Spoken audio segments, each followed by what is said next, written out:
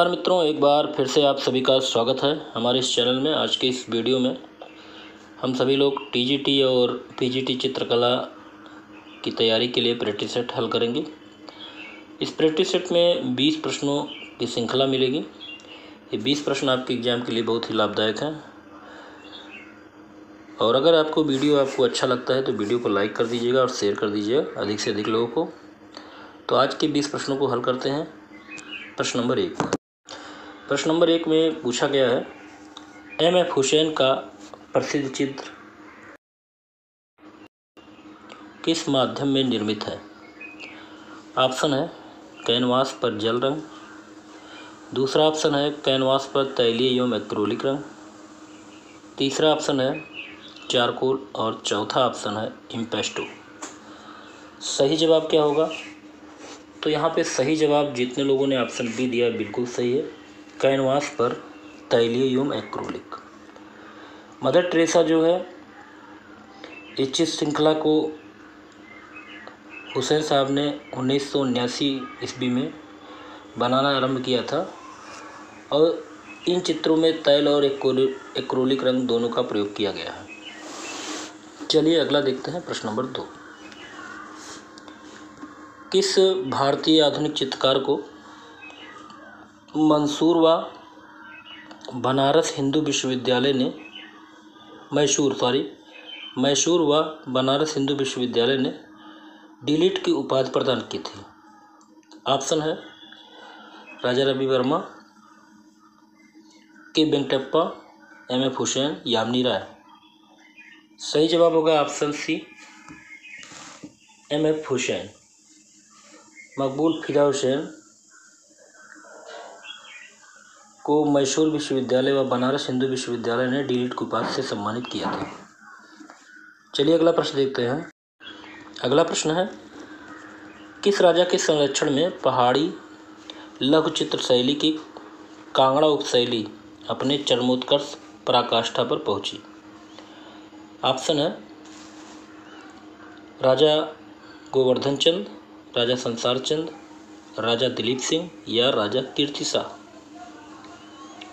सही जवाब यहाँ पे होगा ऑप्शन बी, राजा संसार चंद। तो पहाड़ी लघु चित्र शैली की कांगड़ा उपशैली अपने चंद्मोत्कर्ष पर पहुँची थी राजा संसार चंद के काल में। अगला प्रश्न है, कांगड़ा शैली के चित्रों का विषय क्या है? रागमाला है, कृष्णलीला है नायक नायिका है या उक्त उपयुक्त सभी? सही जवाब होगा ऑप्शन डी, उपयुक्त सभी। तो रागमाला भी है, कृष्णलीला भी और नायक नायिका भेद भी है, कांगड़ा शैली के चित्रों का विषय। अगला प्रश्न है, मूर्तिकार अमरनाथ सहगल का जन्म कहाँ पर हुआ था? पाकिस्तान में, भारत में, बांग्लादेश में या बंगाल में? तो सही जवाब होगा ऑप्शन ए, पाकिस्तान में। तो मूर्तिकार, प्रसिद्ध मूर्तिकार अमरनाथ सहगल का जन्म पाकिस्तान के अटोक ज़िले में हुआ था 1922 ईस्वी में। अगला प्रश्न है, पंजाब, गढ़वाल और जम्मू के हिमालयी हिमालयी तलहाटी में इनमें से कौन सा स्कूल बनाया गया था?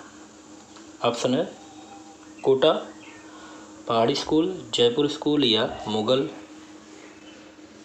सही जवाब होगा यहाँ पे ऑप्शन बी, पहाड़ी स्कूल। अगला प्रश्न है, किस चित्रकार ने गीत गोविंद पर आधारित पेंटिंग श्रृंखला को कांगड़ा शैली के अंतर्गत बनाया था? ऑप्शन है परखू, मानकू, फत्तू या सुशाला। सही जवाब होगा ऑप्शन बी मानकू। कांगड़ा शैली में मानकू ने गीत गोविंद पर आधारित पेंटिंग श्रृंखला बनाई थी। ये कांगड़ा शैली के प्रमुख चित्रकार हैं और कांगड़ा शैली के प्रमुख चित्रकारों में फरकू, मन मानकू भी आते हैं। अगला प्रश्न है किस नगर को गुलाबी नगर कहते हैं? जयपुर, दिल्ली, लखनऊ या बनारस? सही जवाब होगा ऑप्शन ए, जयपुर को गुलाबी नगर के नाम से जाना जाता है।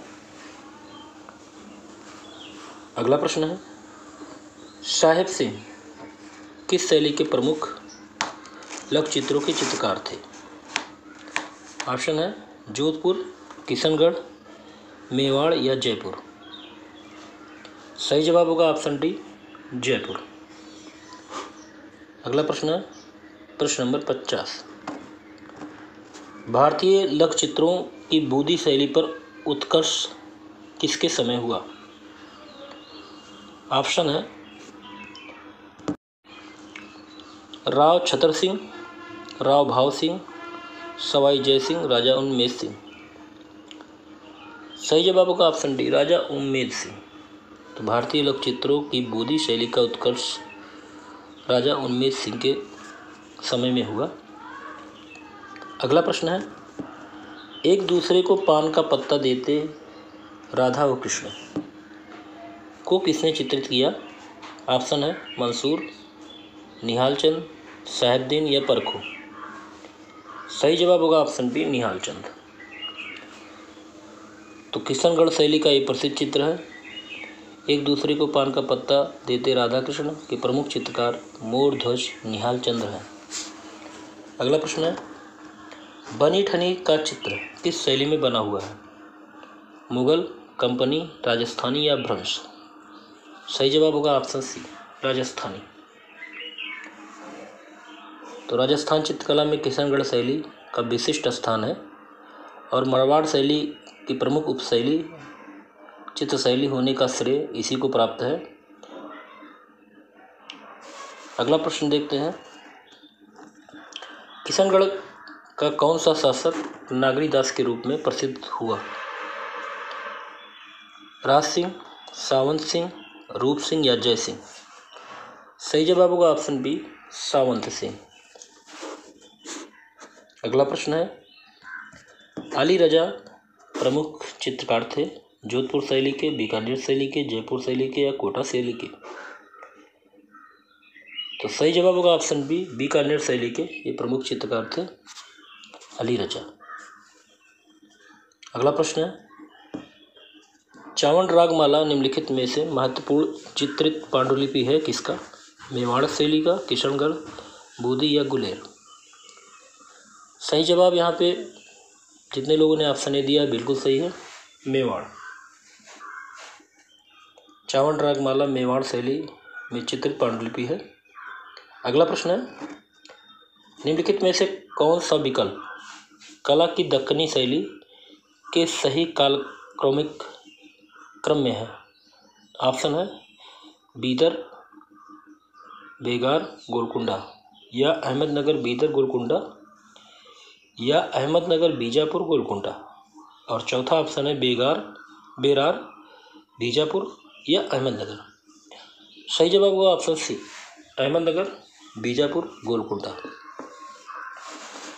अगला प्रश्न है नृतंगना नृत्यंगानाओं एवं पासवानों के चित्र बड़ी मात्रा में चित्रित हुए हैं कहाँ पे? हैदराबाद, अहमदाबाद, गोलकुंडा या बीजापुर? सही जवाब होगा ऑप्शन सी गोलकुंडा।